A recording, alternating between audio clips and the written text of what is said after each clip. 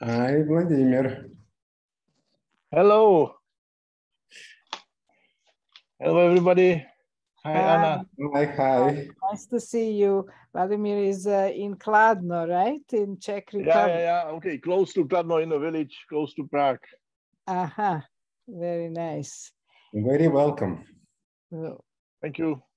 hmm And Luca is, uh, I don't know. Yeah, that's uh, we, c- Hi. Hi, Hi. Luca. How are you? Nice to see you. Nice to see you too. Um, where are you right now, Luca? Uh, physically, I'm in Italy now.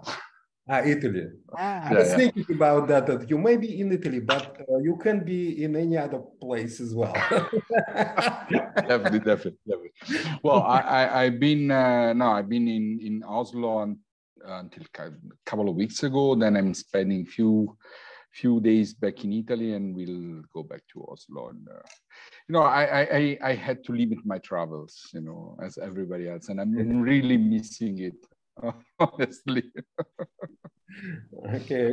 hi, Bets. Uh, hi, Jim. Hi. Hi, Jim. Hi, Bets. Uh-huh. Hello, all.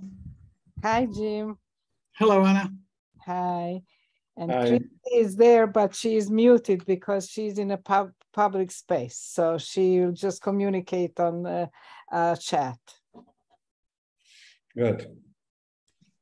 Okay, let's uh, maybe wait one more minute and then we can start. But in the meantime, while we're waiting, maybe we can introduce each other to people who we don't know. And so let's everyone say a little bit uh, about themselves. And I'll just uh, start with the first person on my left or right. I don't know from which point of view. And that's Eugene. And then you pick somebody else and so on. Ah, okay.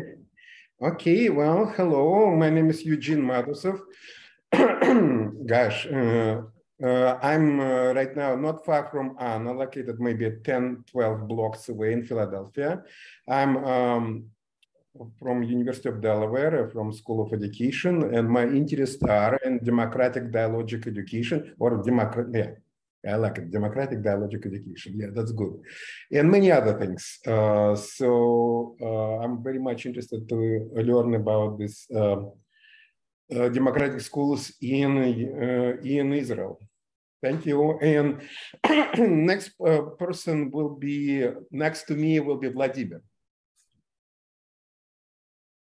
So, hello, everybody. My name is Vladimir Dobeš. I'm uh, from the Czech Republic, and I'm a co-founder of the Czech uh, Democratic School Donum Felix, which operates. Uh, okay, we, we closed the seventh year now. We have also high school, the basic school, high school. Hmm. He's cutting off. Mm. And we are considered kind of flagship of Free Democrat. Very nice to meet Ana uh, when I was visiting Israel and mm, our friends in Jerusalem, uh, Sudbury School. So I very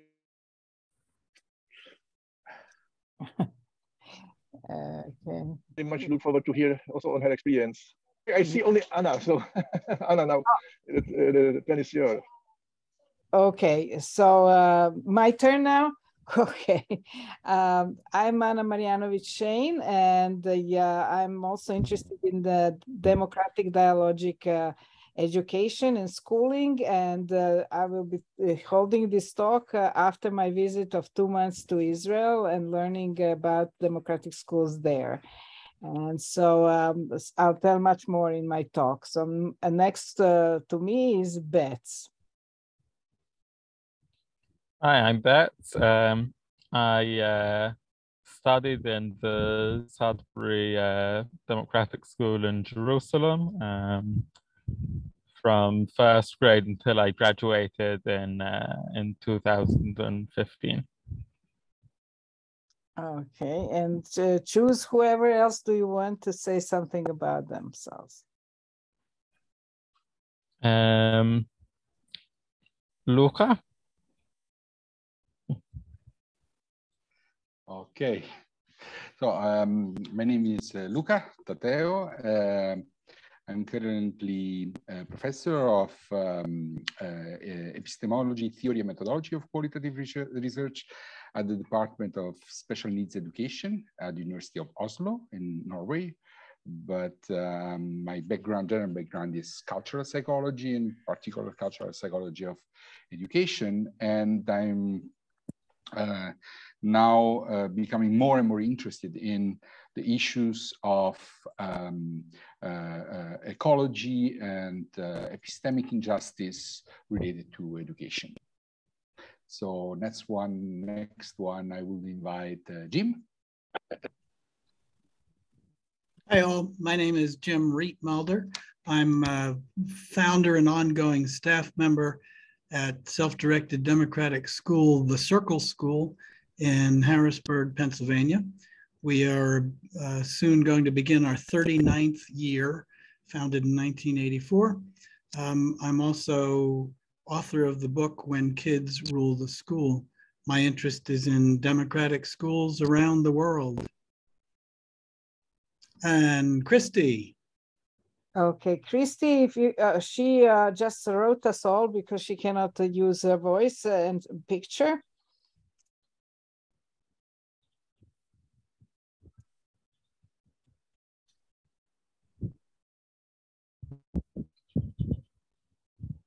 Okay, thank you, Christy. Uh, so I guess uh, we can, and uh, I think that uh, I will just uh, give you a brief uh, or deeper presentation. No, Ana, sorry to interrupt you, but I want to make an announcement before ah, that. Okay, please do that. Mm -hmm. And I just want to make an announcement about this.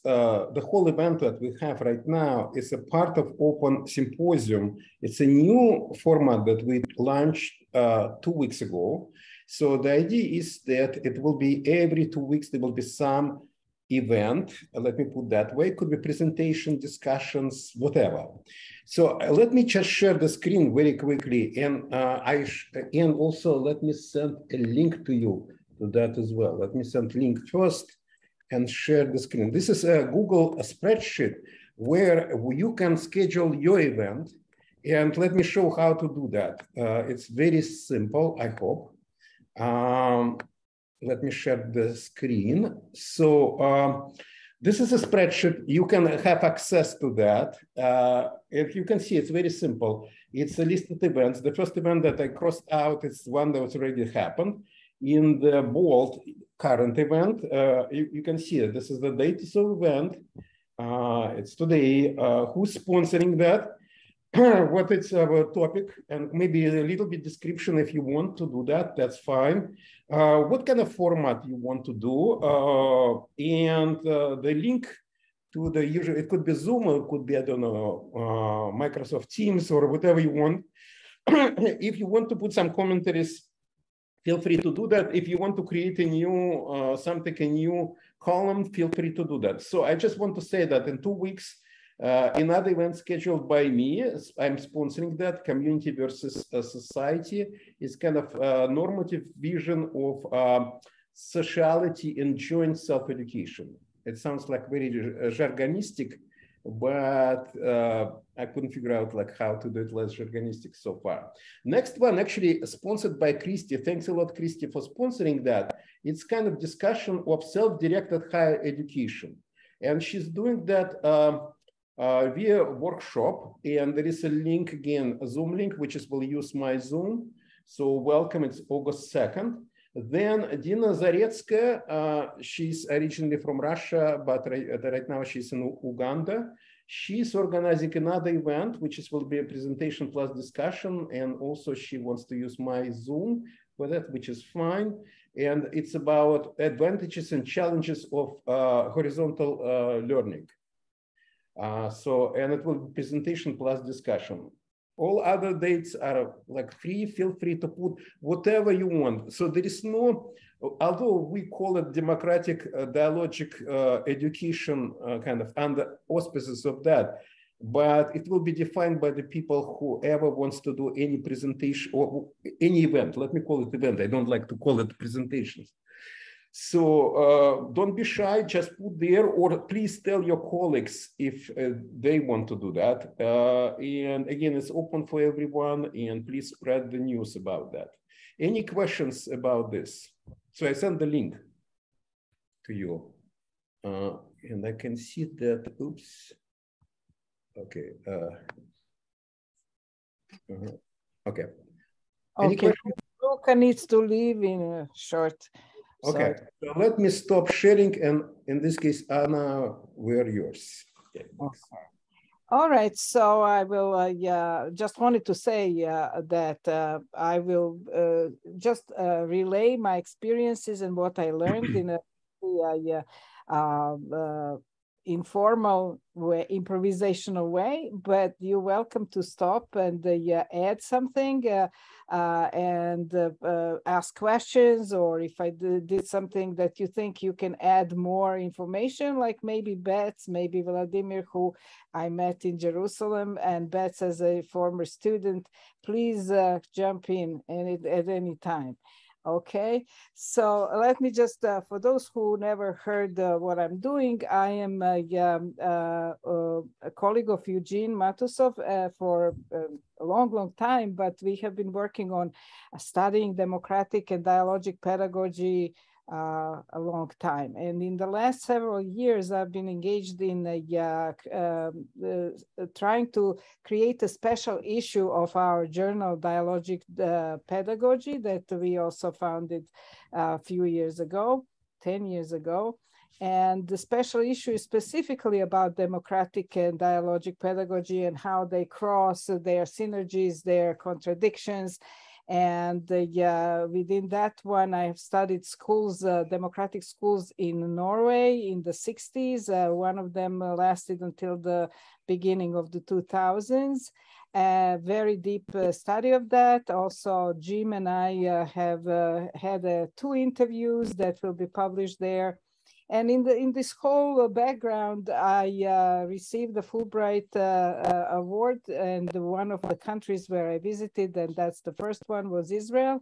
And so I spent April and May in Israel trying to find out. Uh, just to scratch the surface. And even though I think it's just the surface, I think there was a lot of very important, interesting things to uh, uh, to talk about. So uh, I won't give any more about this background. If anybody is interested, we can talk about it later.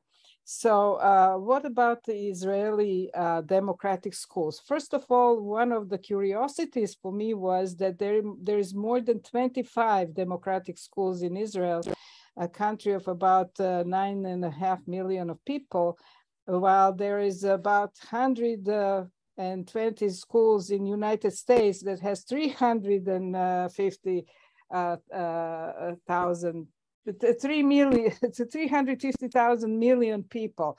So if, if the, the proportions are like um, almost 336 times more schools in Israel per person than in United States. And still, democratic schools in uh, the whole world, as such, are not very known among edu educators. Uh, very small amount of people knows about them, but in Israel, everybody knows about them. It's probably because uh, this whole uh, huge amount and visibility of these schools. So uh, what I learned is that the uh, these schools have some kind of a status uh, uh, called special schools in Israel, which are among many different types of special schools, among which there is special education schools, but not only. Israel has many, many schools because of huge amount of uh, diversity divisions that are also co conflictual divisions. So there are schools for Israeli children Jewish children and Israeli Arab children that are usually separate. There are schools in Israel for very religious uh, community and for secular uh, schools. There are schools for uh, uh um, poor people, immigrants that come from neighboring countries or workers uh, and school uh, that need to learn Hebrew or something like that. So there are many different types of schools and there are schools that also try to kind of bridge these big uh, political, ethnic, uh, religious uh, breaks in the society too. Uh, democratic schools politically, economically fall into that special schools which means from the point of view of the uh, uh, policies that they are financed uh, by the government, but not quite fully. the government finances public schools fully, uh, but uh, some of the special schools uh, have more or less, and democratic schools get about probably less than a half than the tuition for the students in the public schools. So parents and families still have to subsidize very heavily people in democratic schools. So this is kind of like the general background, which in itself is very interesting in itself. Um, I, am just looking at some of my notes. So I visited only two schools out of these 25 and more schools in Israel. I visited Jerusalem Sudbury School in uh, Jerusalem, and I visited the first democratic school that was ever opened in Israel, which is a school in Hadera, uh, opened by Jacob Hecht or Yaakov Hecht. Uh, in the, the 70s in 1972 and the jerusalem school was opened in 2002 right uh, Bets about that time? Yeah. Yeah correct and the two experiences that i had were very very very different. And so i'll first describe one school and then the other school a, a quick facts and i'll start with the jerusalem sudbury school. So as the title says, uh, yeah, the school was founded on the model of the Sudbury schools. And as far as I understood, the, the founders, uh, which were uh, uh, Yudis and Ricky Ben-Or, and uh, a colleague of them, uh, they knew um, um, Daniel Greenberg's sister, and uh, through her also Daniel Greenberg, and they were all involved in creating school that is based on the principles of the Sudbury Valley School. So I know many people here know about it, but uh, yeah, just uh, to, for those who don't completely, or just to remind ourselves, um, the main values that drive such a school is, I would say, human dignity, uh, which entails uh, freedom of everyone to uh, um, choose uh, whatever course of life they want. I would say that the principle is more not learning than living a full life as possible in school. Um, what it entails is that uh, people trust each other, respect each other, and, and expect responsibility of each person to take uh, uh, in their own hands their own affairs and to also trust and respect other people as much as possible. So everyone in school has equal rights uh, of uh, decision making about themselves and the others, which means that the students and the staff are uh, having the same uh, um, uh, the same say in voting for whatever decisions have to be made and decisions are about everything about running the school from uh, material things to uh, uh, uh, various issues that people come up with whether to take some travel somewhere or to organize some other activities or to buy something whatever the the life of the community or the society is, which is very interesting uh, um, about the uh, what decisions have what what kind of impact on whom. Um, so uh, in uh, in uh, Jerusalem uh, Sudbury School, they recently moved. I don't know, Betsy, if you were in their new location, and I don't know how the old location looked. Yeah but uh, yeah, there are two buildings that uh, in between which there is a kind of large court and uh, there are some lounging chairs, tables and chairs, uh, and, and a big area where people can just move around. And this is where we were sitting uh, yeah, and having a big, big talk with the, uh, with the um, uh, whoever of the students was interested and also staff interesting to talk to me. And one of the things that for me was kind of like a, uh, I would put it as a title, if uh, and when I write about it, is uh, what uh, a graduating student, Asaf, said at one moment. He was one of the participants, Uh, he's, uh, when I asked him how did he come, when did he come to school, he said he came in the fifth grade following his very good friend Gil. And uh, when he came to school, he, he said, I sort of fell asleep and for about half a year, after which I woke up and started to live. so he started to live, which uh, from the fifth grade to the 12th, because he was just uh, graduating this year, uh, he became like the soul of this uh, current community of uh, uh, students and staff. He's in every possible committee, every possible organization, serves as every, every almost like running single-handedly many, many, many different things that are happening in, in school. Um, so I other students to who I talked uh, had very different stories.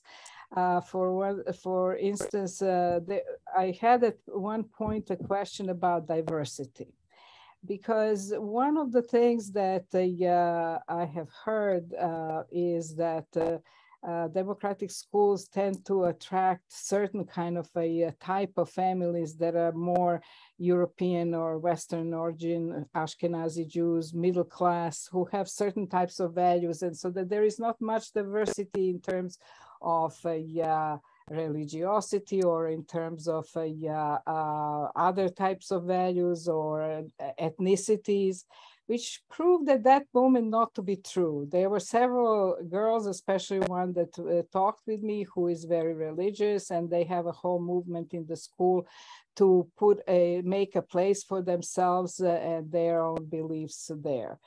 Um, uh, but that critique also I read in some other places, uh, in other books too, that it's still a, a, kind of like one of the type of these special schools, democratic schools are not trying to bridge uh, in their ideology, but in fact, maybe even is expecting that kind of like home and the uh, and school life have the similar type of uh, ideas about life and values that it makes it much easier. In fact uh, um, that's a very interesting uh, thing to to uh, discuss more about and if anybody wants to jump in please feel free to do that.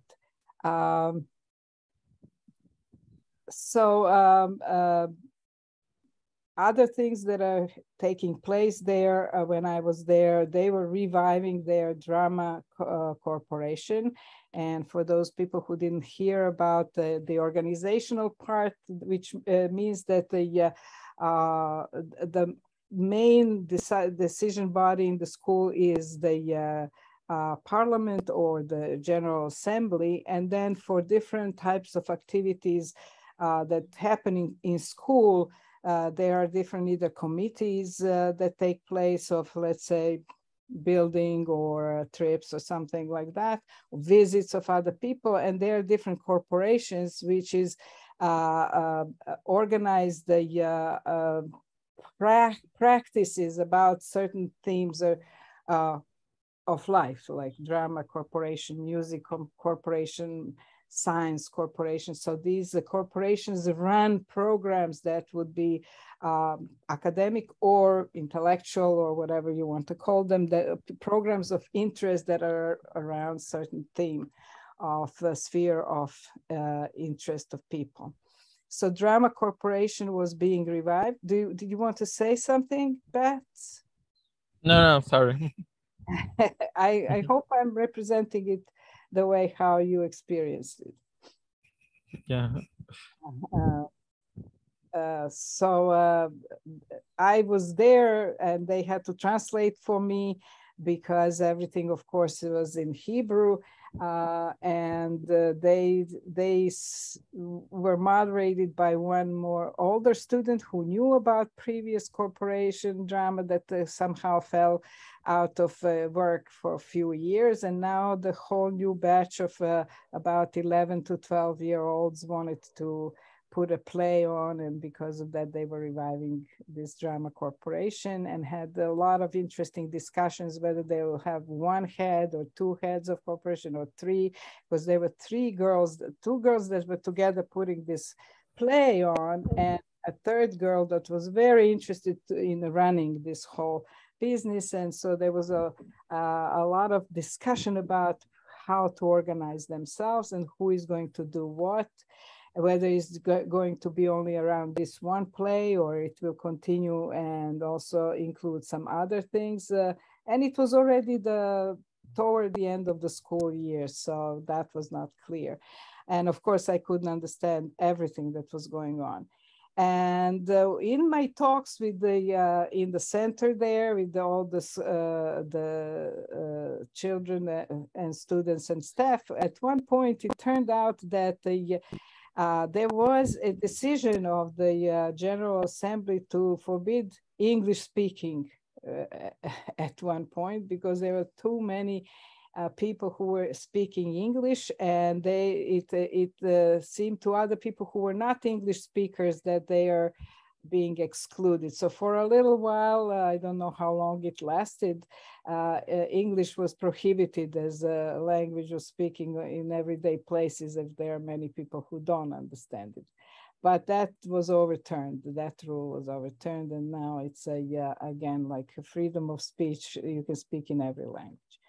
So this is a, yeah, in general, uh, yeah, uh, and from my very short visit of about three hours and speaking to in, individual students, uh, what uh, what I saw. What for me was very interesting is that uh, I learned a lot about democratic schools in visiting Jim's school in uh, the Circle School and talking with Jim and, and discussing these issues. So uh, we had a very similar vocabulary, like it was the same culture of democratic education, the Sudbury model. So we didn't have problems understanding and describing to each other what's a corporation, what's a committee, what's a judiciary committee that uh, every day solves the various issues uh, of uh, behavior, conflicts, rules uh, being overturned and, and things like that.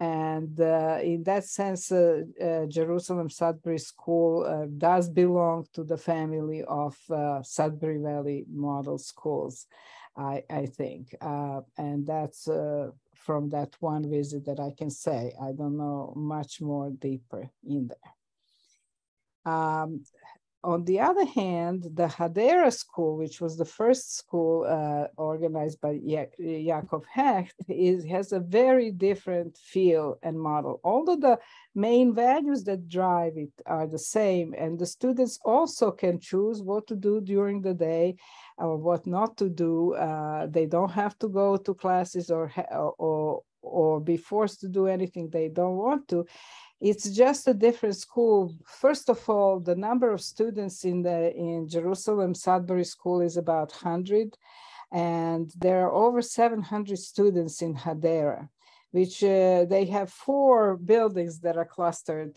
uh, next to each other, and uh, they have a lot of pavilions around where there are classroom or different kind of studios for drama for art studio for uh, smaller classrooms or not so there is a lot of more uh, uh, kind of uh, academic activity go, going on. And I think the Hadera School is based on academic activities much more than Jerusalem Sudbury schools. Uh, uh, first, they could always offer so many different uh, classes that are very conventional classes because there will always be somebody who wants to go to their those classes, which is not true when you have a small number of students that it would be the case. So they do have teachers that are special, like Arabic speaking, uh, Arabic language uh, classes are always going on art classes are always going on. It's not just a corporate, there is no corporation. There's teachers who teach these subjects. And the teachers also have their own kind of like a committee, teacher committee, if you want to call it like that, where they meet once uh, or twice a week with the, uh, their own teaching issues, problems. They have a uh, specialist uh, in um, teaching uh, or educational psychology or uh, he's a psychologist who helps them with whatever problems they bring into their meetings. I was in a part of their meeting uh, that they were interested in more in what I'm doing than what they are uh, doing so they uh, when what they told me that um, is more again about uh, an attitude to uh, uh, who a teacher can be in a in a school like that that you cannot force children uh, to do anything they have a right to and the teacher seemed kind of like they were seemed okay with that but maybe not 100% uh, okay with that. I, I don't know. Uh, it, it, there there was some nostalgia uh, among some other people, uh, some of the teachers about like if their classes are not chosen very much. Uh, so I would say that in that sense, uh, there, there, was a different feel in the Hadera Democratic School, in spite of the same um, main principles of and values of human dignity, freedom, trust, responsibility, respect of each other. Uh, another thing that in Hadera they have that uh, uh, uh, is not taught like that in uh, Jerusalem, Sudbury, or in the Circle School, they have learning centers. Uh, which is a form of a um, not class, class organization of classes, but organization of a uh, like a library could be a learning center or a, uh, la a laboratory, the, the, the different uh, academic subjects that exist can have a, their own center where people can come in and walk in and walk out and get any help from the person who is a, a staff or a teacher running these centers. And the third thing that they have, and I'm not sure whether you have that in the uh, Jerusalem uh, Sudbury School, uh, but is the mentoring system. That's a very, very strong component of the Hadera school uh, that uh, each student uh, chooses a mentor among the staff that follows them throughout their whole stay in that school. And it's almost like university advisors uh, they are uh, kind of like advising each student about their academic and about uh, other things, but mostly I think about academic. There is a book written very recently. Unfortunately, it's, it's still only in Hebrew. Uh, I can show you, but it doesn't mean that you can all read. Uh, that may.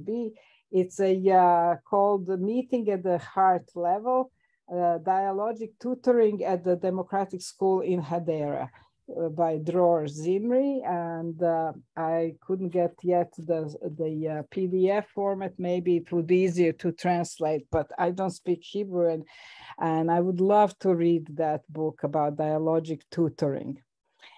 Um, I was there about also three hours, and because it's so big, uh, I was not able to talk about uh, my questions with any particular students. But uh, there are so many places to visit. For instance, there is a big, uh, huge playground that was uh, constructed by a very renowned two artists of Israel in consultation with uh, students. And an anecdote was that some of the uh, things that uh, swings or whatever the, the, the the contraptions on which children could climb or do things uh, had to be taken down because of the inspections the, uh, from from uh, Israeli educational authorities thought that they may have had been hazardous or not, but that after they were taken out, there is more injuries now than before. so that's a local anecdote for them. Um, so th this is this is in general what my uh, uh, two visits had two very different flavors. The in Hadera they also have a new principle. That's another thing that in Israel uh, you toward the outer uh, community of the uh, politics and, uh, and uh, Ministry of Education, you have to have a principal in such a school. And internally, that's also just a staff member with one vote as everybody else. So they have a new person who, who does not have experience in democratic school, but is very willing to learn. And he was taking a lot of notes from our talk, uh, uh, learning more from me than uh, being able to tell me very deeply what's going on because he was just there in less than a year. So um, another curiosity about Hadera School is that they have a smoking uh, area, which is outside and which is used both by staff and the students. And that on and off, there were uh, attempts to uh, close it or to fight against smoking, but the principle of everybody's freedom, they just need to keep it clean and uh, tidy, but they can go there and smoke. They have ashtrays and uh, and they have benches and it's uh, their smoking area. So what else I can tell you? Well, that's a, that's a uh, uh, mostly in a very nutshell. So um, if uh, I'd like Bets to tell us if if you want to something about uh, what would be interesting that I didn't mention, and then also Vladimir how you uh, encountered and what inspired you to open your school?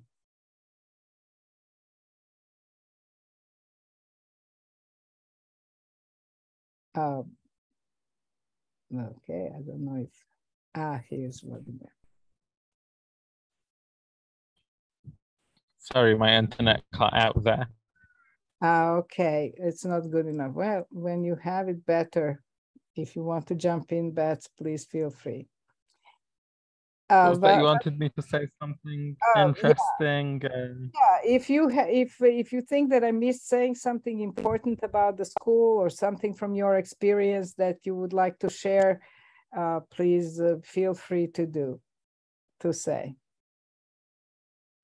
I think you have a very good representation. Uh, I mean, I'm sure everyone's experience going to such a school is going to to vary um, you know, drastically. But, um, yeah, I think uh, I think you did it justice. okay, so uh, uh, Betsy, yeah, uh, what are you doing now in in your life? Uh, I work as a pro. I think he wanted to say programming, but you're cutting out. Okay. Ah, here you are. Sorry, my internet connection seems to keep cutting out. Um, I work as a programmer at a small uh, robotics company. Okay, thank you. okay, Ana, so Ana, I have a question for you. Uh, uh-huh. Uh, you mentioned about this mentoring, and mm-hmm. you said that every student must choose a mentor? Is it must choose? Like, what if a student doesn't want to choose any mentor? I don't know about that. It was mentioned to me at that time when I was visiting, and at that time I did not know uh, how important it is. I learned about it later, and I couldn't ask uh, at the moment when I was in the visit right there. But uh, as I understand from reading and from uh, uh, that's uh, the principal of some uh, emails later, uh, everyone has a student. I'm not sure. I didn't ask the question. Well, for me, it's almost answer. If everyone has it, it means it's yeah. forced. Mm-hmm. And the question from because it's just um, in natural things, it's never possible that everyone will have just because it, outside of the school, it's never, it's not happening uh, on this absolutely total, uh, uh, in, in total way that everyone, whoever interested in something needs to have a mentor. It's not, it's not true. Sometimes people do, sometimes don't. Uh, but so my, my deeper question actually for you, if you know, or maybe for Bets, like uh, correct me if I'm wrong, but democratic schools financed by the government, uh, uh, by, by the taxes, taxpayers. And my question is, how much it's in a way polluted by that? How much it's a, a kind of almost like agreement with devil? So because uh, the government then start dictating uh, what has to be done and how much, uh, in a way, the Israeli democratic schools is a compromise and where is that compromise? And how deep that compromise is going on in terms of that people start believing in these impositions that's coming from the government rather than think, oh gosh, we have to do that, but we will do it without much enthusiasm and belief in that, versus they will start doing that and they say, oh, they, because this is actually good for education or for the students. So can you, like, and again, uh, Bets, feel free to also to jump on that if you uh, have any knowledge of that and how you feel about that as well. That would be very interesting. Shall I answer that? Please do. Mm-hmm. Um, so, uh, as Ana said at the beginning, um, there's sort of different statuses for, for schools in Israel. Um, and at least the Jerusalem uh, Sudbury School is, is what's called partially recognized. So they get partial funding, um, but it also means that they sort of only partially need to, to follow the, the guidelines of the, of the uh, Ministry of Education. Um, I remember when, when I joined the school in 2003, so it wasn't, it wasn't recognized at all. Um, and we had long uh, debates in the in the assembly uh, to to decide if we wanted to get recognition or if we didn't want to get recognition exactly because like you said you know making a deal with the devil um, and ultimately we we opted to get partial recognition uh, and and we sort of found ways to to keep everything you know real and and uh, authentic to the philosophy of the school without making without making any um, important compromises, uh, which was never really on the table. It's the, the, the Sudbury system, I think, in general, is very radical. Um, it's, uh, you know, freedom and um, so, so it wasn't really an option to, to give up on anything. Uh, but, but I think that schools that maybe do that you know, don't necessarily try to find ways to to uh, meet the requirements of the of the ministry while still you know keeping things uh, with their philosophy they're kind of more maybe willing to make compromises but i don't really know. I only know about our school. Yeah. Uh, when I talked to uh, uh, uh, Benor, and Ricky, uh, that who are the founders, uh, she kind of laughed and says kind of like don't ask. Like it's a like uh, they say we should do something and we say we will but nobody looks whether we did or we didn't and we do whatever we want. It's kind of like a gray area um, there. Uh, which is similar true to Hadera, uh, although I think they follow the recommendations of the Israeli Ministry of Education much more just because it fits into their way of working. Yeah. Thank you, Bets. so, so it's a, it's a very interesting kind of like a status that uh, it's it's undefined status. yeah. Mm -hmm. Right.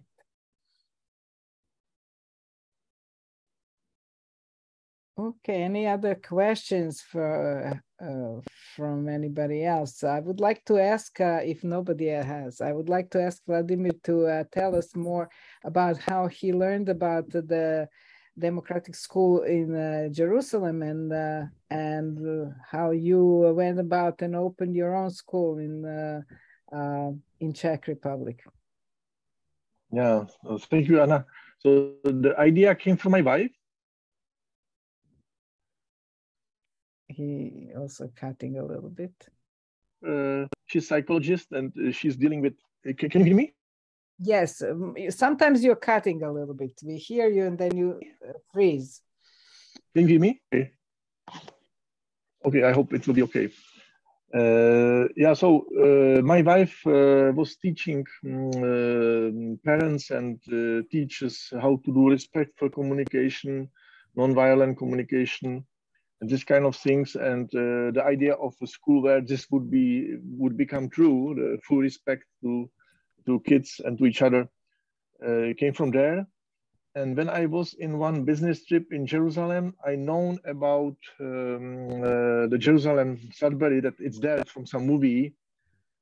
And I just tried to, to call and ask for a meeting. And I was lucky that I met Judith and uh, some students in 2015. It was like March 2015, just uh, the year when we established, when we opened the scope uh, school, our school in September.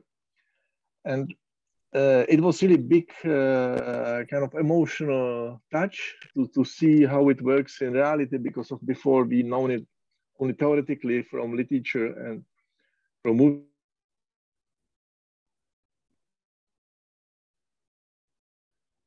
movies. And then uh, Judith Rick's a lot of support when we were starting our school in Czech Republic. It was not easy but uh, we, we, for example, we got uh, one volunteer from Jerusalem Sudbury each uh,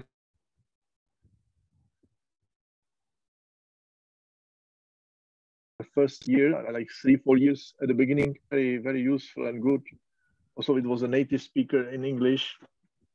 So uh, we could tell that our school is partly bilingual because of people speak well English and uh, we always have some volunteers from abroad so th this was the important influence. Uh, also, uh, Enrique um, arranged uh, our participation in the Sudbury uh, workshop, European Sudbury workshop. It's a network of schools in Europe. And we uh, went to Ammersee in May 2015, where I also met uh, Sadofsky. She was visiting this meeting. And uh, we have met uh, many other schools. So it was great. But then i mean always the uh, what, what is most important is the real life on the in the school and how people are capable to really uh, have a full trust uh, to themselves and to to other people to the kids etc so I, I, I, would now uh, suggest that I briefly speak still about uh, experience from Israel because of the, I have something to add to your um, questions.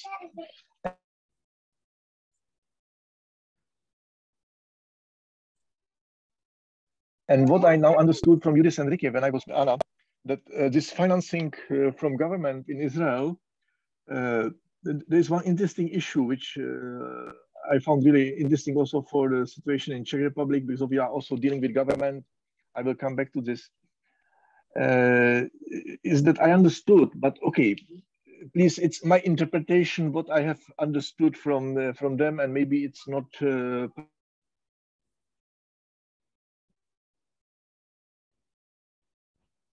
perfectly correct but what i understood is education there was somebody who was very much uh, kind of um, enthusiastic about supporting also uh, the Sudbury type of democratic schooling in Israel. And he offered kind of deal uh, that the government would start to finance, because if I understood, if there is a fully recognized school in Israel, the government has to provide the building free of charge to the school. And some schools like the Kanaf school, it's also one of the oldest uh, democratic uh, schools and Sudbury model schools in Israel, joined this governmental um, support or how to call it. And it was working quite well first years. Uh, there was no any uh, special pressure, but now I understood because of there were some changes in the regional governments which have big influence on the schools at a local level, there is a pressure, for example, in Kanaf to change the director of the school so that it will become more like the school uh, following the um, kind of uh, ideas or paradigms of the politicians at the local level, which is, seems to be really a disaster. So I don't know, but it looked really not good, this development. And luckily, the Sudbury Jerusalem didn't join this maybe it was uh, related uh, to what Bert uh, was re referring to. Yeah, there, there was this choice made some years ago. Yeah, so this was yeah maybe this important observation or information I got now, and then very briefly because of yeah, I, I could talk of course uh, about many things, but if I should uh, briefly describe or characterize uh, our school, so uh, we are now in seventh year. we have like 90 students in the basic school. It's the age between uh, 6 and uh, 15. And we have two years already uh, also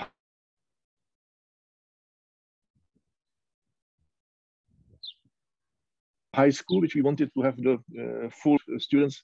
So we now succeeded to have also this uh, part.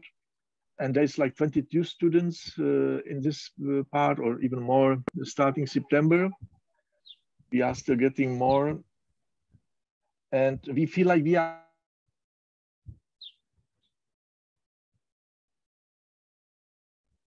on the edge, like when we are at this like uh, 100. Also, we have some small kids uh, uh, being part of the school community who are. Uh, it's not formal, but there are some staff members who have small kids, and they uh, come very often to the school. So we have group of uh, also like kindergarten age children. And if I should um, somehow make characteristics of the concept, the educational concept, so we are very much inspired by Sudbury. But I was always telling in the meetings like the Sudbury workshop that I don't think we are really uh, kind of clean. Uh,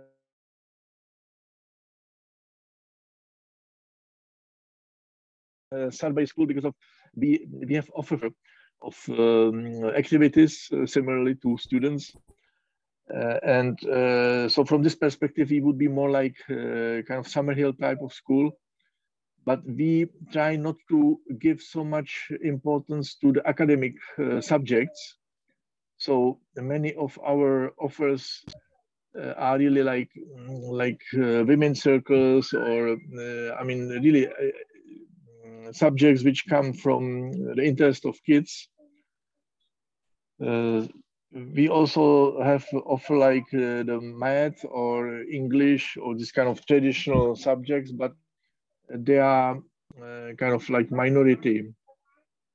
And uh, people learn English in their uh, daily activities or uh, talking with other people, and uh, they learn math in what they do as a projects, etc., etc. So it's kind of hybrid, I would tell. Yeah. So when I now have heard about Hadera, high data, and uh, what I know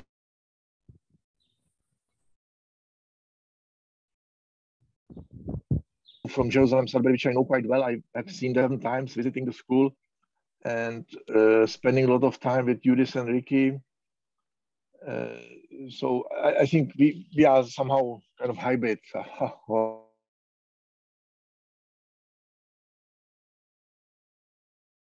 do you call it?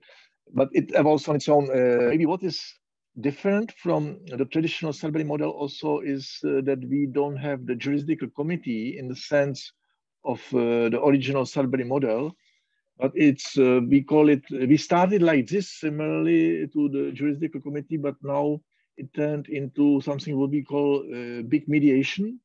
So we try to solve conflicts through small mediations, which are informal. And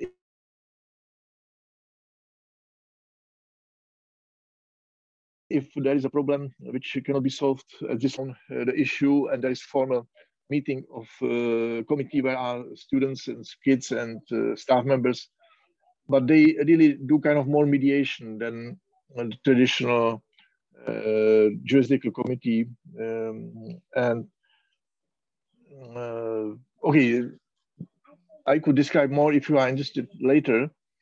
And then what I think is also different uh, that we uh, we moved from the democratic voting, the traditional majority democratic voting. After half a year, the kids came with uh, kind of tension that they have problem that if they are overvoted by the majority or if they overvote people who don't agree with something and they have to uh, follow uh, the rule just because of they were overvoted so we created something, what we found later, it's called sociocracy, where uh, it's not about consensus. It's uh, about what they call like consent. It means that you try to develop the best um, solution in the circle with which everybody can live.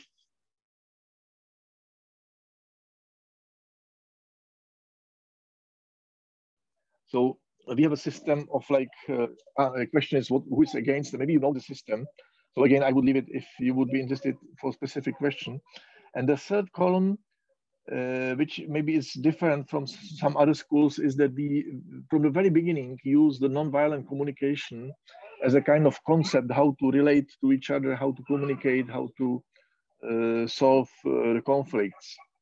And we use the concept of Marshall Rosenberg, and uh, we also kind of train, for example, parents in this. We offer them training. Of course, they some people don't want to go there, but we also try to uh, have the broader community around the school uh, understand this concept and to use it.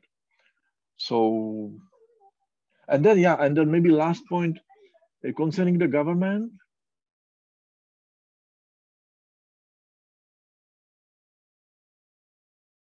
So it's interesting. Uh, we have had uh, and uh, a lot of discussions, uh, especially at the very beginning.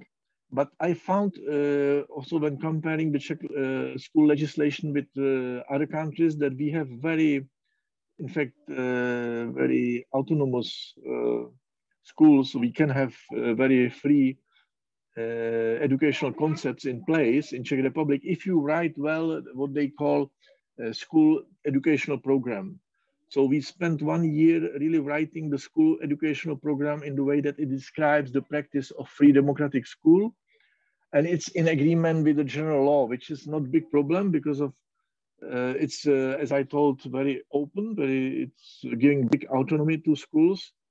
And uh, more or less the only two things where we have some, we have to do some compromises, it's evaluation because of we have to give kind of uh, certificate at the end of the year and in the middle of the year to each kid uh, about kind of I don't know how you call it in English, uh, like a certificate at the end of the school year, where normally in the traditional schools you have a kind of evaluation and even marks. And so we found the way how to write it in the way that it's not really uh, evaluating anything, it's just uh, describing what people do and uh, we try not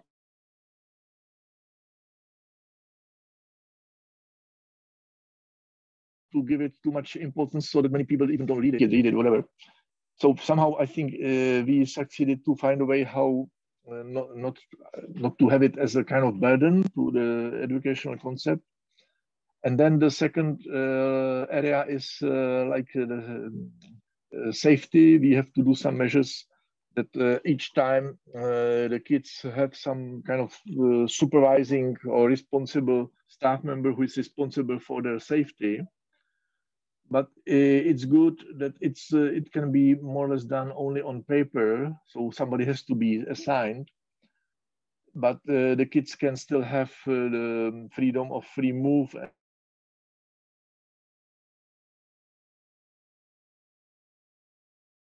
and uh, don't see the supervisor. It's more for the law requirements. So, and okay, and then uh, kids also can go freely to the garden. We have big garden, like 4,000 square meters. And then we we have a kind of um, letter signed by parents that they agree with this.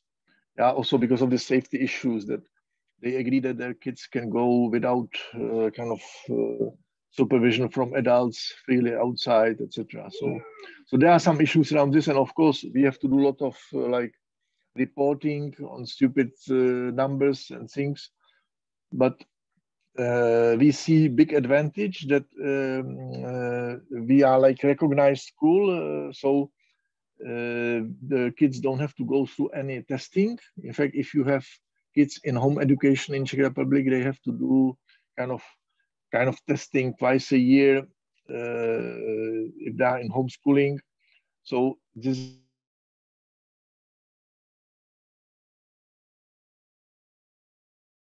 is what we avoid in our school. also, we support the network of uh, similar schools in the Czech Republic. I think we have already 16 members. Some are just startups, but some are already well established. And also, I guess like eight of them already went through inspection successfully with this uh, school educational program. Uh, so it's uh, it's a kind of good uh, situation for free democratic schooling in the Czech Republic. Now the government is preparing some new legislation so we hope it will be not worsened because this is the danger that it will become worse. And in fact, uh, starting uh, August, I will be in some working group uh, established by government on these amendments of legislation. So I will try to prevent the bad things to happen there. So they, they made like open call for or competition for for these groups. So this, I guess, will be also interesting experience.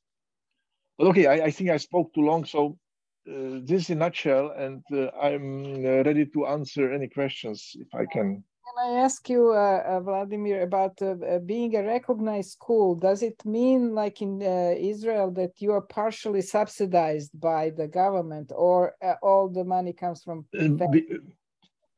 yeah, we are subsidized by government as any other private school, so we have to be private school if we want to have this kind of educational program. And uh, it means more or less that uh, we get uh, relatively a lot of money, in fact. We more or less cover or we covered the salaries of staff members from this contribution from government. Now it's more, so we also cover some salaries ourselves. And this enables us to have a relatively low fee, which we want to keep because of we want to have the diversity. Diverse group in the school. We don't want to have like uh, parents. So so far we succeed on this, I guess.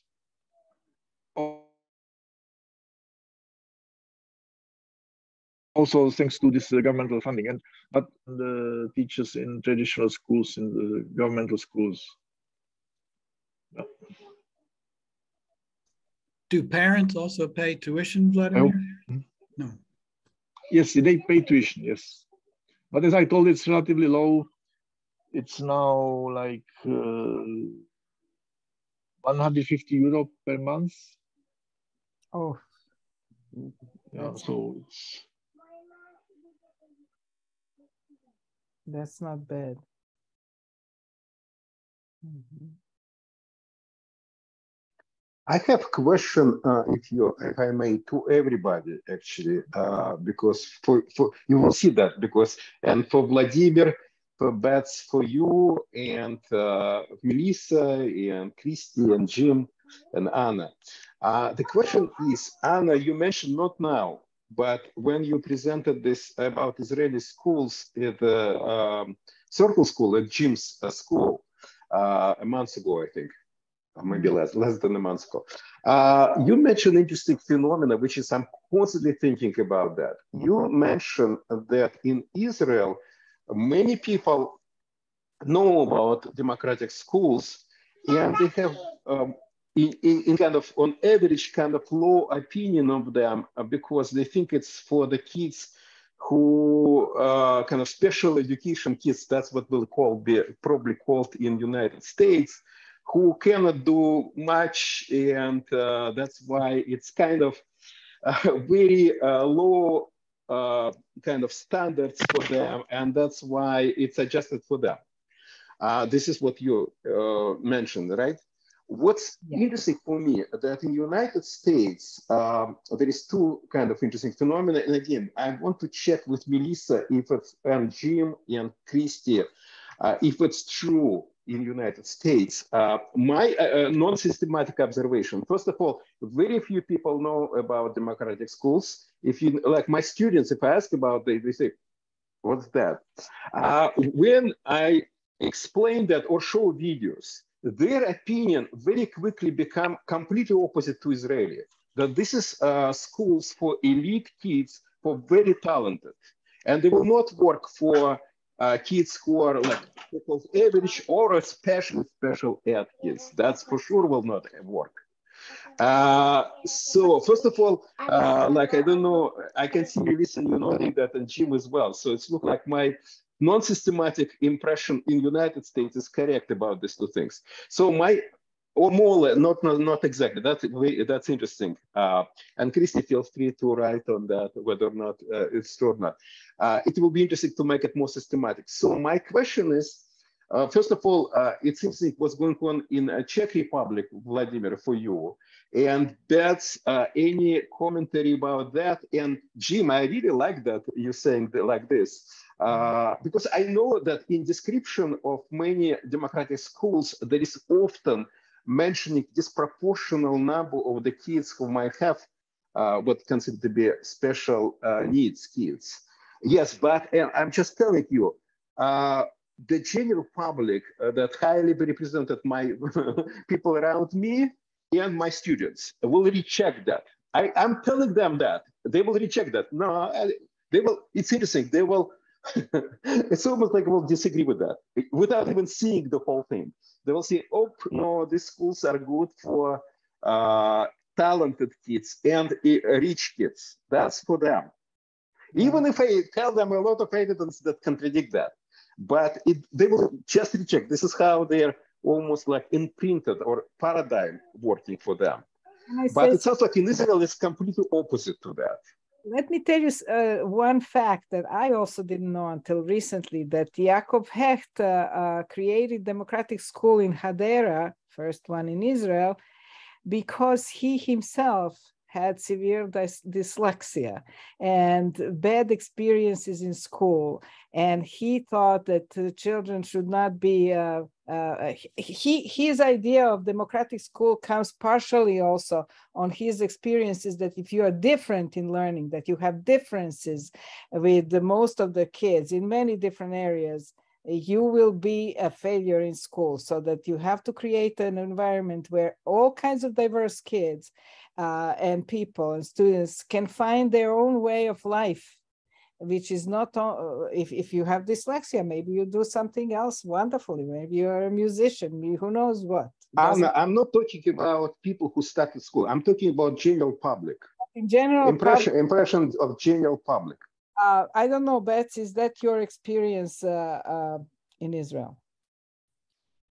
Um, it's funny actually because I've I've really come across both uh, both of those examples that you gave. People like, oh, what you know, so so you don't learn anything. Like they think it's for people who can't learn, and they're like you so you, like basically lazy people. You're just sitting around doing nothing all day. That's that's one side, and then some. I've also come across people who are like, oh, so it's like people who are who are super gifted and, and kind of can manage without any structure, but like that's not going to work for, for most people.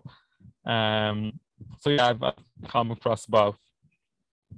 Uh, and of course, I think the reality is, is not really either. Very interesting, yes. I, I first heard it in Israel from a uh, person at the uh, Levinsky College for Education in Tel Aviv who uh, uh, was contemplating about her own kids because they have problems in schools. And then she says, I always worry that if I send them to the schools, that uh, they are schools for children who otherwise failure in other schools. And so, what will be their reputation further in life? yeah i don't know vladimir do you did you have any experiences like that? Yes yes I have a lot of experiences with this.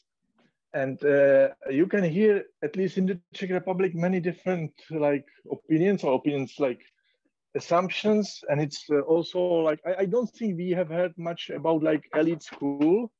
It was more like school for stupid or uh, a school for exactly people in needs, like uh, who cannot uh, match the traditional school.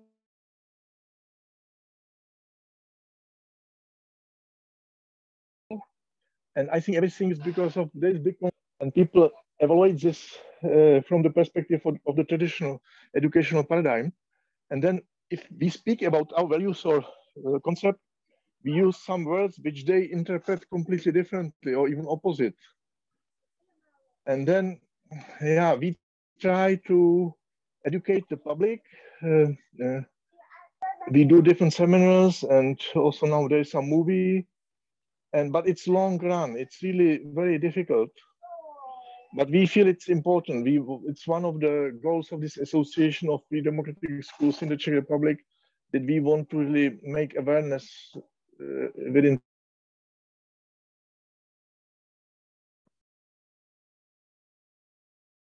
public what is it about especially parents the aversion very interesting. That, that's uh, what about you jim? Uh, uh, your experiences about that? Well i think there's it has changed over time. We're approaching 40 years and and so we have we've had more time to establish a reputation for the circle school rather than for democratic schools. But my experience is very much uh, in accord with what Eugene said that most people in, that we deal with have never heard of democratic schools or self-directed schools. Um, and that's even after 40 years in the same community. Now we have a, a remarkably high compared to what we used to have number of people who have heard of us from multiple places, and their impressions run the gamut. We certainly have people like like um, Melissa said in the chat that that think that any private school is is for the wealthy or the elites. Um, we have some um, typically other educators in in nearby uh, private schools for the wealthy who think that um, Circle School is a place for kids with special needs or, or kids who have some kind of learning disability. So we see it all. But another pattern that I see, and Eugene, it's sort of why I was doing this, is that um, I have worked closely with, with uh, a couple dozen of the schools in the US. And what I've observed is that, that they have their own sort of localized impressions formed in their general public. Um, I know of uh, uh, one school that became sort of deeply embedded in the um, in the sort of funky, geeky uh, community locally. And this is in a, an urban setting, and they got a reputation for that. And you know, you get a reputation for something. Uh, other schools have admitted uh, a large number of kids with autism spectrum disorder. And then they get a reputation for being a great place for kids with ASD. Um, uh, others, I know another school that that is has a reputation as a hippie school. And the, the, the more those, you know, the, the new young schools want to get kids and families. And so they tap into some particular vein in the culture early on, and that may spiral into looking like a, a specialized school. So um, I think there's, it's hard to generalize across the United States because there are many different localized impressions. Uh, I want to comment about the subject of money and regulation. And um, Eugene, you posed your question as though the two are tied together, making a deal with the devil. If you accept the money, then you accept what goes along with it. In Pennsylvania, I'm sorry to say that money and regulation are separate issues. We get the regulation, but we don't get the money. The, in, in Pennsylvania, there are, there are three categories of schools. There are public schools, there are religious schools, and there are other private schools. The, the other private schools are subject to regulation that is that's pretty heavy and the, the only the religious schools escape that but even the religious schools are required to um, in the in the law to teach certain subjects in the english language they don't there is no regulator there's no regulator who's authorized to enforce that with religious schools but with with non-religious private schools there is direct regulation by the Department of Education and no money.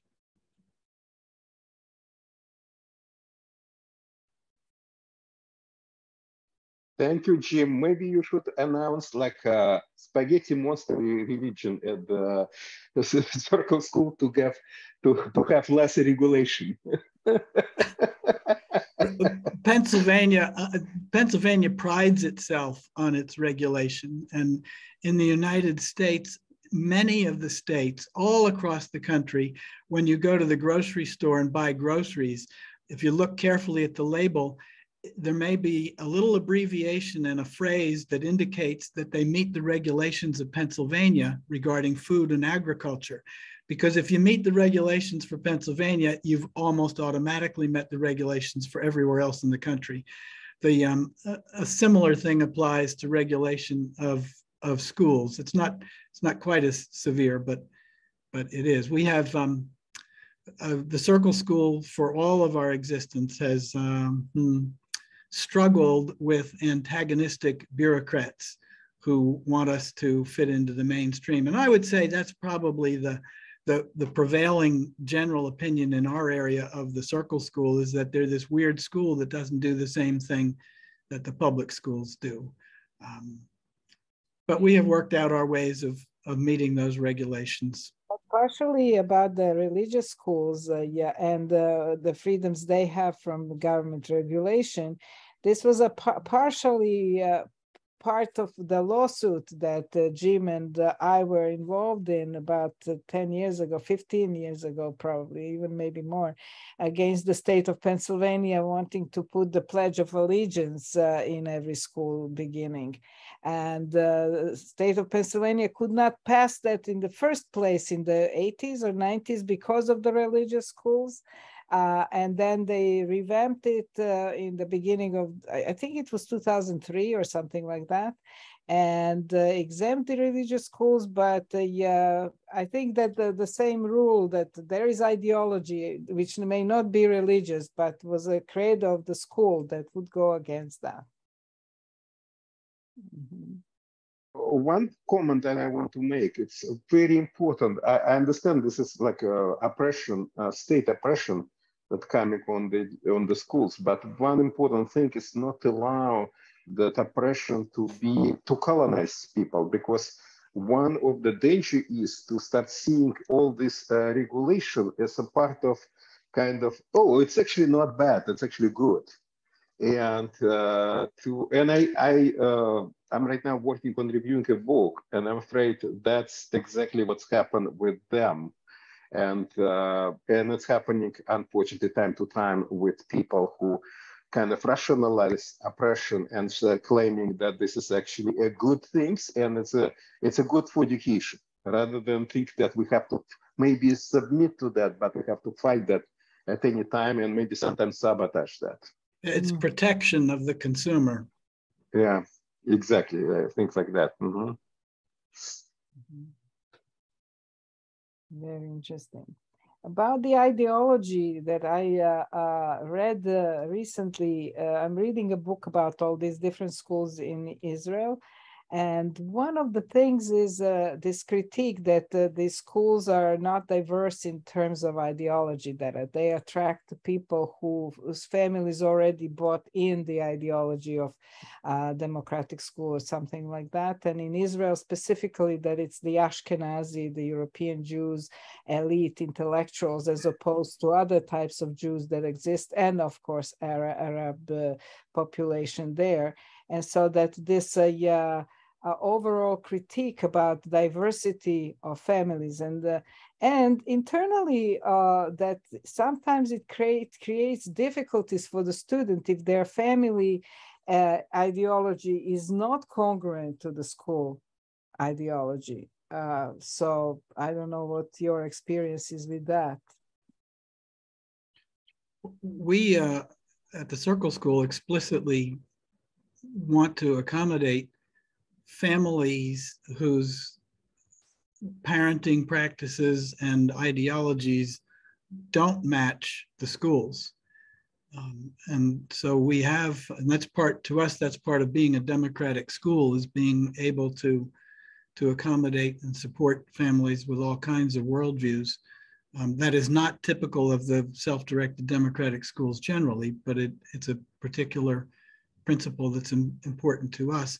Um, so, uh, and we do that. We have we have had some families whose whose uh, parenting practices are very authoritarian, and others who are sort of uh, their the parents are like jellyfish, um, and uh, mostly in between. But again, that's I don't think that's typical generally of democratic schools in the U.S. It's very interesting that you're trying to maybe be more a, a pluralistic school, but on the other hand, it is a democracy. It is a, a ideology that it's uh, in itself drives this uh, uh, kind of like pluralistic view.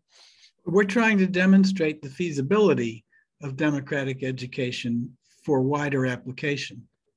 And it, to demonstrate it, we have to be able to accommodate uh, a wide range of, of uh, family practices and ideologies and worldviews. But what does it mean for uh, the- uh, Ana, can I just interrupt? Sorry. Uh, I just want to say that, can I want to jump that? That's exactly I'm going to discuss in the next, our next meeting about, because this is where I see the difference between a notion of community and notion of society uh, as a normative uh, vision of the education of joint self-education. Uh, where the idea of community is this idea of having common uh, denominator and common uh, ideology uh, and attempt to do that and, and spread it, as uh, Jim is saying, to the uh, parenting and to the other views. It could be religious views, it could be political views, and so on and so forth. and the idea of the society, exactly this idea of the pluralism, and which is in a way you said Ana, it's another ideology. I'm not sure that it's another ideology because it's in a way it's uh, it's in things in its own because of its pluralistic. By the way, it which means it will accept to a certain degree non-pluralism as well, like Jim was talking about. Like, okay, well, there is uh, somebody who don't believe in democracy, and that's part of us as well. It's categorically uh, different. It's categorically yeah, different exactly. because because most of the, um, the, alternatives want to impose their own ideology or worldview on everyone. And so this is this is if this is just one other way of seeing things, as Eugene's saying, it is one that explicitly uh, promotes mm, tolerance, not just tolerance, but support for a great variety of, of worldviews and ideologies. This is uh, what I found on the Jerusalem Sudbury School website. Of course, this is Google Translate from Hebrew, so it does doesn't say community; it says society explicitly there. I don't know, Bets, uh, what you think about that. Uh, whether the the uh, Jerusalem Sudbury School really is uh, uh, trying to attract diversity in various uh, ways among the families and students. And what happens if there if the family is different than school for the student themselves, not for ideology, but for the student?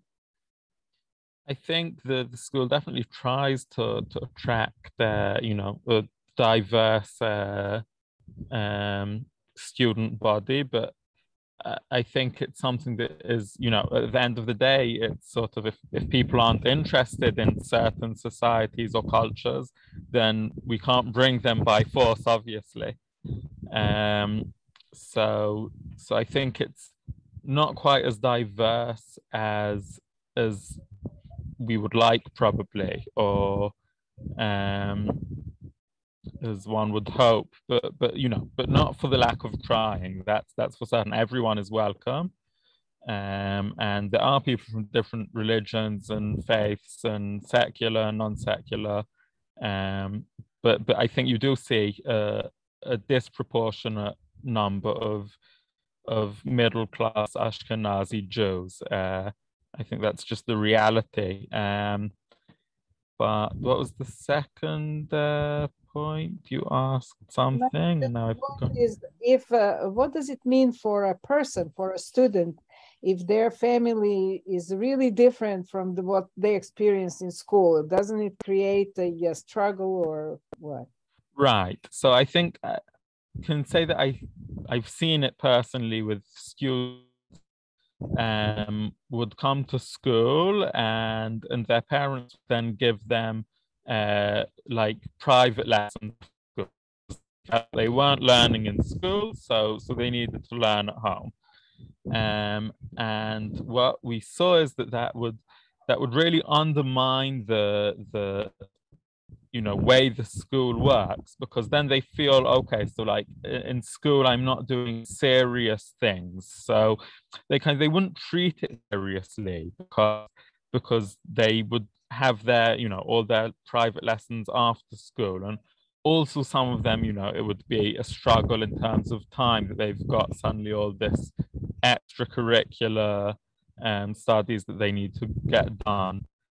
And by and large, I think we saw that, that, it was it was a real struggle for them. Um, personally, uh, and also and also for the school because then they'd come to school and maybe they were interested in something, but they wouldn't push it forwards, you know, and and school because because they were doing it at home because their parents were making them do it at home.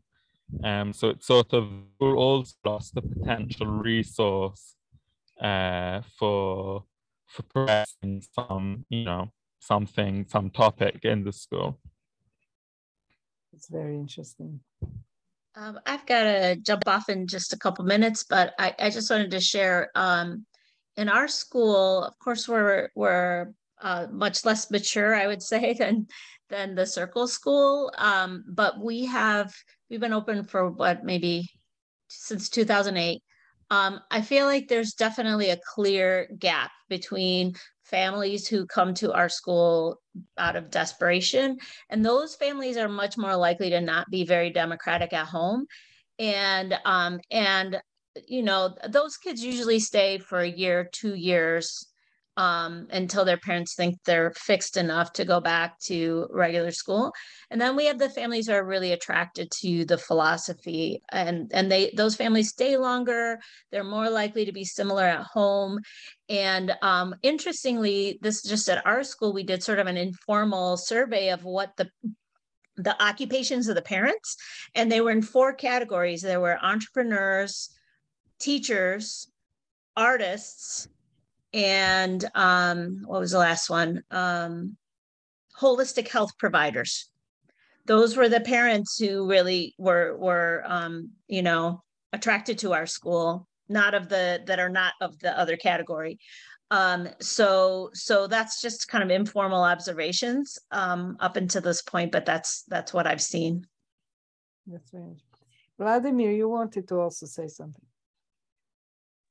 Yeah, I wanted also to comment. It's very impo- uh, interesting and important point uh, Jim raised. I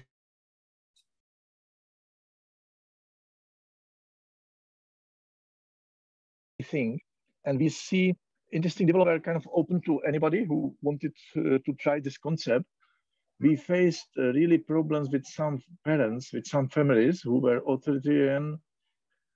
In fact, one of these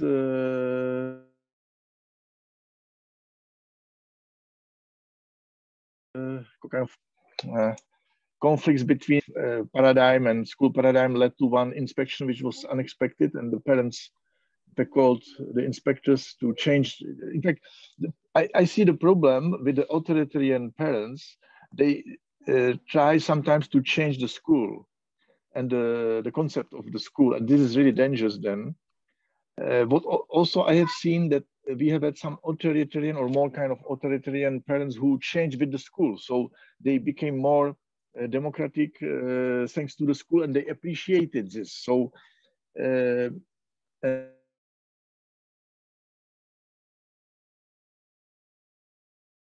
and I think it was very much also because of at the beginning we were accept uh, that uh, they want uh, to, to join the school and as we have now quite big uh, um, extra interest uh, in the school, so we can choose the acceptance committee, and especially the kids in the acceptance committee are very, in fact, quite uh, strong in questioning these things. And we are getting more and more uh, parents who are already tuned to this philosophy. In fact, they really look for the school like this. This is something new. It was not here this uh, five, seven years ago. So this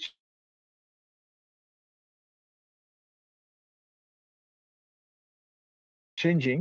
And my theory is that uh, we are society which is shifting from the hierarchical systems to more uh, kind of uh, flat and self-managed systems. And I see it in business. I also do some job in business where I work with the teal organizations and it's happening in business. And I, I think, uh, Jim, it could be very interesting, longer discussion because of, uh, I, I would see it uh, probably as a kind of um, if people are not open to change, they are authoritarian and they want uh, to enjoy the privilege of being in the, the circle school, for example. I think the question is why not to allow to have uh, some uh, kids which have parents which are more tuned and which will really stay and enjoy this opportunity because of what we have seen with the authoritarian families, the kids have kind of uh, tension or not tension, it's really problem that uh, they feel at home there are some expectations. And in school uh, there are different uh, kind of expectations like that you will really manage yourself your education you will explore yourself uh, your life and your uh, interests etc in self-directed learning. And i think the kids from authoritarian families have big problem to start uh, this uh, process uh, to really to in fact use the concept of free democratic school. But okay but i think it would be really for longer discussion and i also feel this issue of not being like against society or something like um, not to be exclusive or all these things we also want to avoid but again, yeah, it, it's uh, maybe some to find some equilibrium uh, here. Yeah. So thank you. This is yeah, I agree. it, would, it, would, it would be a fun extended conversation, Vladimir. I think um, we over the years we have experienced the um, the phenomena you talked about of a family or or people who want to change the school one way or another. Um, we don't see that much anymore, except when, as it relates to a particular student. So particular parents might want a particular change to accommodate their student. Um, but the, the, the difference, the dichotomy between the school's principles and, and family principles, I think one way that we that we make that work or, or try to is um, we during the admissions process we do our very best to discover mismatched expectations or mismatched worldviews and ideologies.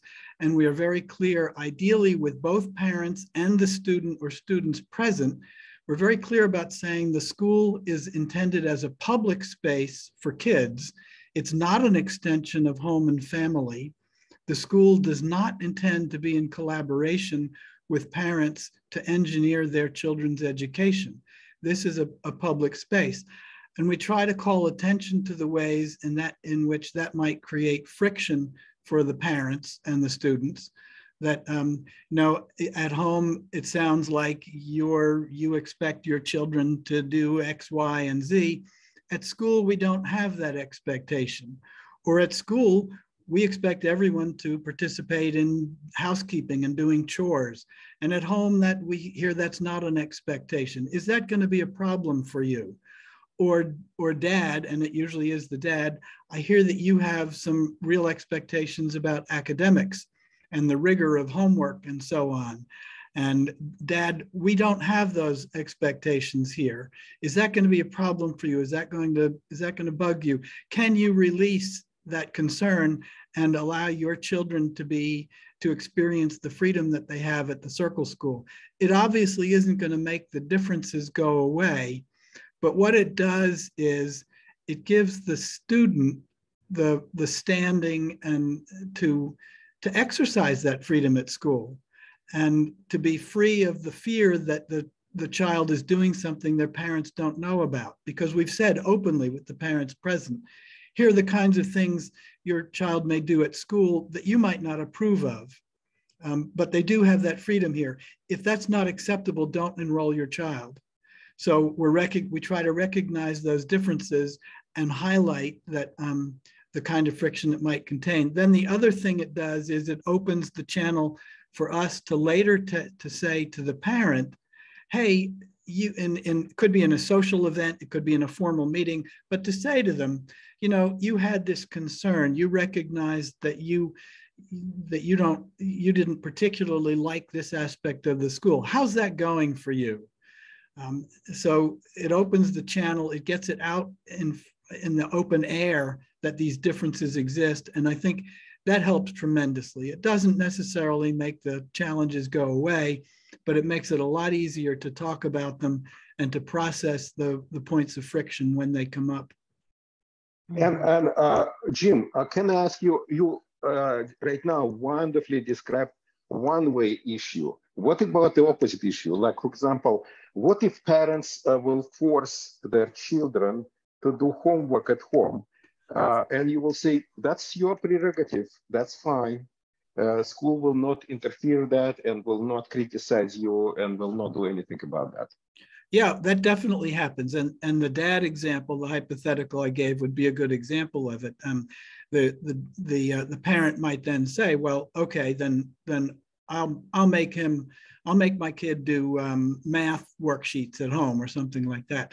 When that subject comes up, and we bring it up if we think it's a thing, or a year later, if we see it happening, we will bring it up with the parent. Again, we'd say exactly what you said, Eugene. We, this, that's your prerogative. We're not going to interfere with that. And let's be clear about two things. One is we're not going to enforce that on your child at school. Three things, actually. Um, we are we're not going to report to you about what your child whether your child is complying with your orders at school. And then third here's how it's going to undermine your child's experience at school. They're going to feel some guiltiness or some fear about being discovered if they don't do the things at, at school that you've required. They're going to get the impression as Bets was saying uh, right on board with Bets on that that that uh, they're going to get the impression that you, the parent, disvalue their experience at school or think that it's somehow deficient and that they need they need something else. And that's going to undermine their experience at school um, sometimes only by really subtle mechanisms. The the the whatever it is they're forcing the child to do at home more often than not falls by the wayside after a while. The kid doesn't do it, or the, the parent becomes lax about enforcing it. Um, sometimes that goes in a good direction. The parent will then come to us at some time and say, hey, you know, I was really skeptical about this when we started two years ago, but wow, my I see that my daughter, my son has flourished and they're really emerging as a as a whole person and, and I've, I've let go of that.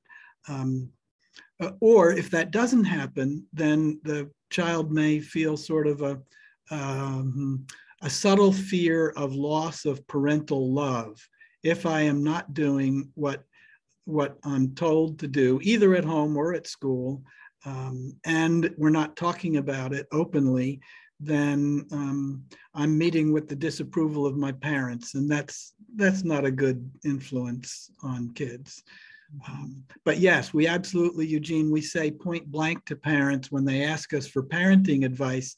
The ideal is that we say, we, we really don't have, we're about schooling, we're not about parenting. So, so we don't really have advice for you about how to parent.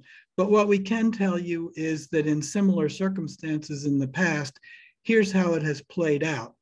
But we're not we're not laying this on you that we're just giving you the information about how it has played out maybe for you, you can you can um, get a you can resolve this uh, discrepancy in your own thinking, or maybe you will decide you can't enroll your children here, or maybe you will decide that the only way you can make it work is if you give your give your kid assignments at home. And we want you to know that if you do that, we're not we're not judging you for that. We're, we're telling you how it has played out in past circumstances. It may be completely different for you every parent child relationship is different, every family is different. Um, so we don't know what's best for you. You've got to make that determination.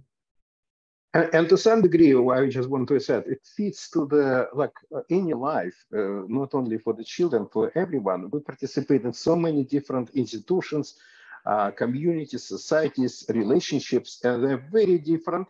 And by the way, and there is a, well, even almost crazy idea to make them homogeneous.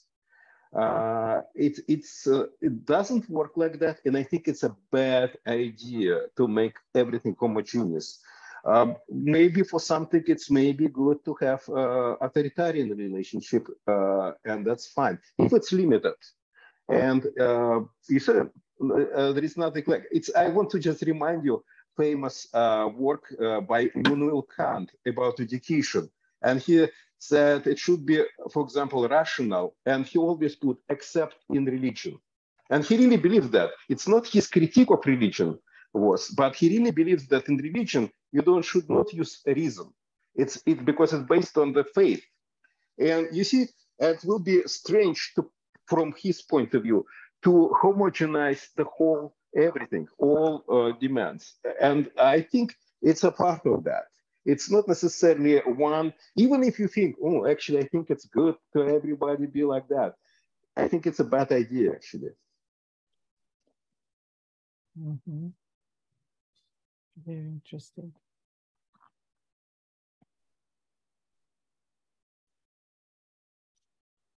One more question that I have for Vladimir uh, for maybe futures our, of our studies of democratic education is about this European uh, community of democratic schools that you are going to participate in, because uh, at least I don't know much about it, and uh, it would be interesting to uh, tell us more how it uh, got there and um, how it works and how we can maybe uh, get to know somebody. Mm -hmm.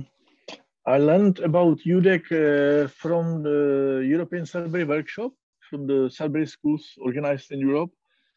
And I understood uh, many of them are members of EUDEC, but they feel uh, it's quite, I mean, it's very wide, uh, very, very wide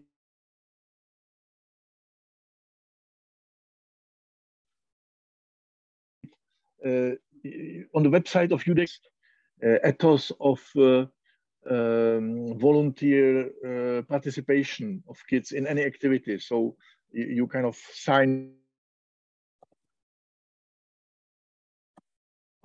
that you don't uh, motivate kids to do something. But what I understood, many schools who are members of EUDEC are not like this. I know one from the Czech Republic, which was the member already a long time ago. They started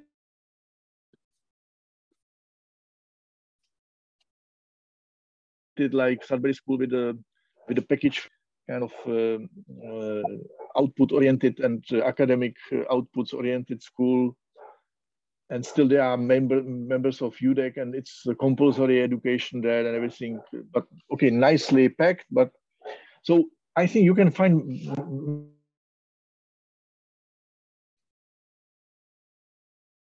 many different schools. This is one observation like we have now a um, good partnership with um, uh, School der Ruimte in the Netherlands, uh, which um, is also a member of EUDEC. And also it's, I would tell, definitely fully free democratic school with also nonviolent communication used and social decision making and fully voluntary activities of all the kids and students and uh, but they don't feel like to be Sudbury. They also have the offer, and they have also kind of mentorship, which would be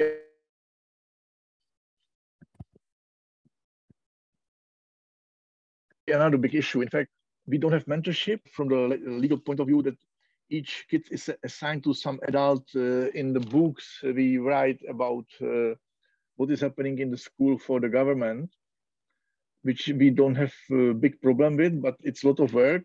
We, we just uh, write what the kids do and it's okay in the language uh, government wants to hear and we, we try not to really uh, pretend anything. So we, we really report the reality. And uh, so, okay, so uh, if I come back to the question on EUDEC, uh, we learned about EUDEC from the Sudbury workshop. We became member as a network. So they allow the membership uh, from countries as like uh, regional chapters. I, I, think they have something like this in France, for example.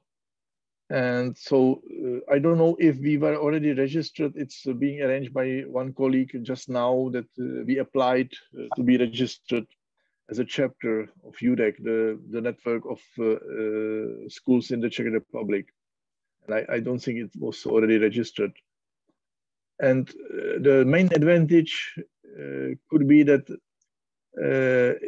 first it looks good. Uh, for example, when we told inspection that we are a member of uh, EUDEC, uh, they liked it because of they don't fully really understand the concept when they visit us, but they understand somehow it works and it's somehow backed up from some concept uh, spread in Europe. So okay, because of this big autonom uh, autonomy of the schools in Czech Republic, they accept it, and I think EUDEC helped in this and also uh, there seems to be some uh, knowledge transfer which we didn't use yet, but which could be interesting. So, so yeah.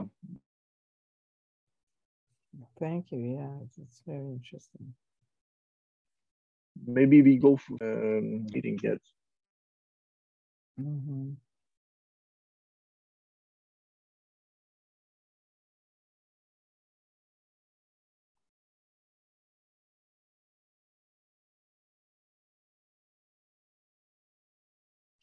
Okay, does anybody have any any more questions or comments, interesting things to discuss?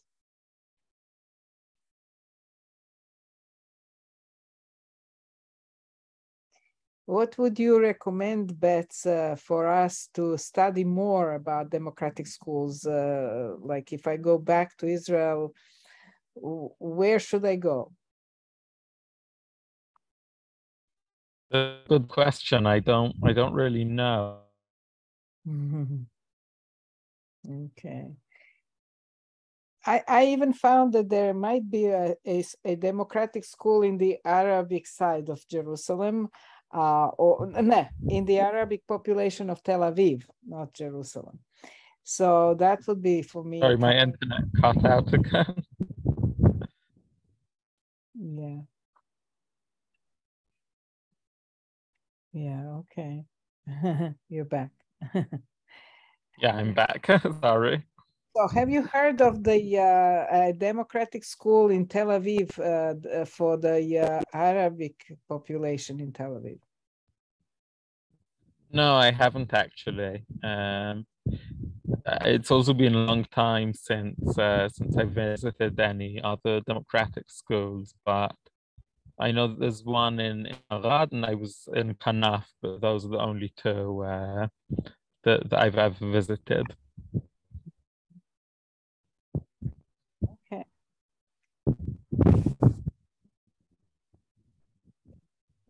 It's an interesting idea to for me to study because I think there are um, all kinds of uh, besides ideological congruity, there are also all kinds of prejudices about a democratic education that might be among other populations, uh, like this one that it's right. just a uh, um, place for students with problems in learning or something like that. There may be some other prejudices too, or that it's just for rich people or who knows what. All right, so I want to just thank you for coming. It, uh, it's a very nice uh, to discuss. And the next time it will be Eugene in two weeks from now with his uh, new uh, study about difference between community and society and what it means in education. Thank you, Ana. It, it's so good to hear about your experiences in other DEM schools. It, it helps us do better as a democratic school. And uh, thank you, Vladimir and uh, Bets, for coming from uh, Europe, from Israel to this and inviting you to participate more uh, or organize whatever you want uh, in our open symposium about uh, democracy in education or dialogue in education, freedom in education, whatever. And I just want to remind you that you can create your event, that you want to discuss something, share some problems, ask for help about something, that will be great. So feel free to uh, sign up for this uh, uh, Google spreadsheet. And, uh, and again, welcome to other events. So uh, thank you very much, everybody, for inviting me, uh, especially Ana, yeah, of course, but uh, for also accepting me. Vladimir has these pauses. I really appreciate, and it was very interesting. Yeah, so uh, I look forward, and uh, for example, this uh, topic raised by Jim is very interesting. So I hope I will be able to participate. So thank you. Thank you, Vladimir. Thank you, Bets. Thank you, Jim. Eugene. Thank you all. It was very interesting. Thanks a lot. Okay. And, that, it was very nice to see you again. Yeah, in fact, we have met uh, some time Yeah. ago. Uh, yeah, yeah, very nice to see you. Yeah, you as well. Mhm. Okay. Bye. Bye.